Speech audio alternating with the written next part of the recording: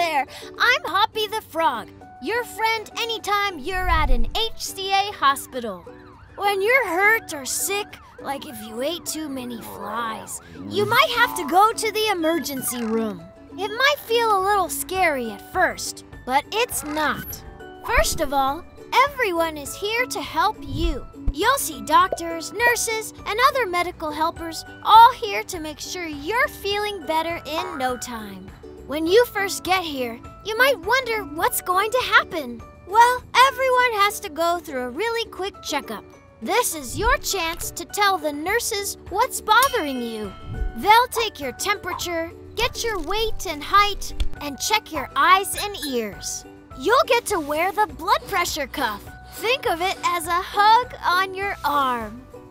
You might get an x ray, or the doctors may need to check your blood. Everything in the emergency room helps doctors and nurses get you feeling better fast. See? It's really not that scary. And don't forget, you've got me, Hoppy the Frog, to be your friend.